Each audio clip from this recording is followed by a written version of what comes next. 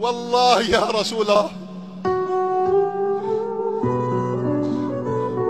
والله أنت أغلى من حياتنا ومن وجودنا ومن آبائنا وأمهاتنا. أغلى من أولادنا أغلى من أموالنا. والروح الروح فداك يا سيد الرسل.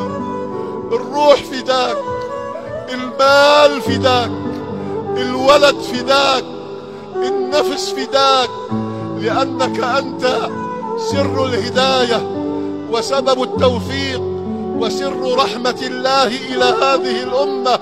كيف نبادلك؟